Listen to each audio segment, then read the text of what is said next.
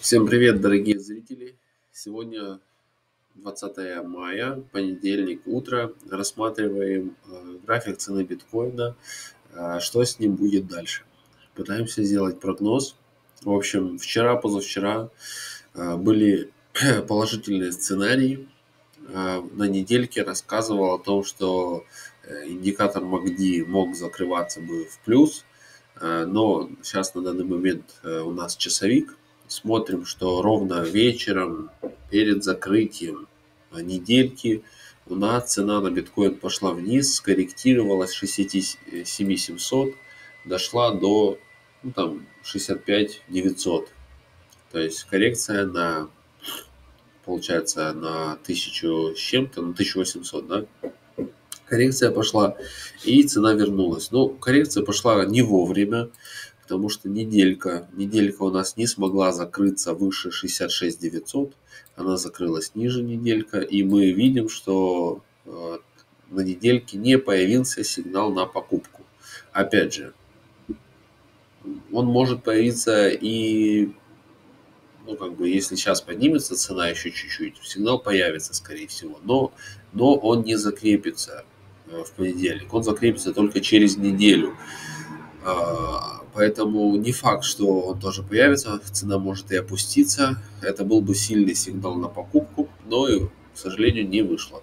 Э, но вышло наоборот даже. На дневке. На дневке у нас вчера, вчера начал появляться сигнал на продажу на дневке, да, то есть разворотный сигнал на продажу.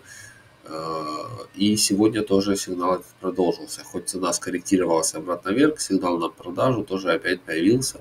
Опять же, значит ли, что, это, что цена будет падать? Ну, нет, не совсем, да, то есть э, э на данный момент у нас такая, по идее, бычья структура формиру, э, сформирована. Сказать, что цена будет сейчас падать от текущих, тоже нельзя сказать.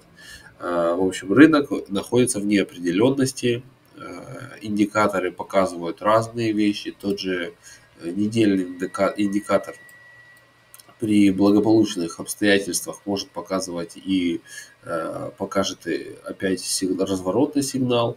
Дневка показывает, недельный показывает разворотный сигнал вверх, по идее, при хорошем сценарии, а дневка показывает на данный момент разворотный сигнал вниз. Э, то есть э, на данный момент может быть коррекция какая-то на этой неделе. Э, то есть он пойдет чуть-чуть вниз, потом вверх. Или не пойдет вверх. В общем, на рынке неопределенность. Пока нельзя точно сказать, что будет. Поэтому не надо торопиться. Не надо заходить в там, лонг или шорт. Или, в общем, стоит подождать. А, я на данный момент э, решил сделать такую рубрику, завел 50 э, долларов э, и решил попробовать на фьючерсах опять, опять попробовать, чтобы меня ликвидировали. В общем, будет такая рубрика фьючерсы. Если будет интересно, смотрите, попробую торговать на ней тоже в Ютубе, чтобы снимать что из этого получится. Надеюсь, э, меня не ликвидируют при первой же сделке. Э, такие дела.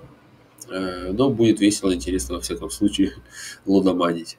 Почему коррекция наступила, кстати, потому что у нас индикаторы тут были, например, на, на часовике видно лучше.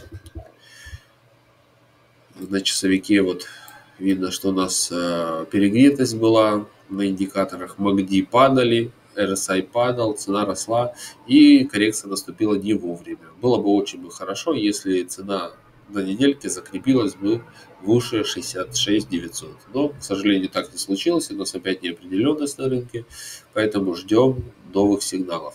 Вот такая ситуация. Терпение, друзья, товарищи, зрители, и все будет хорошо. Всем удачи, всем пока.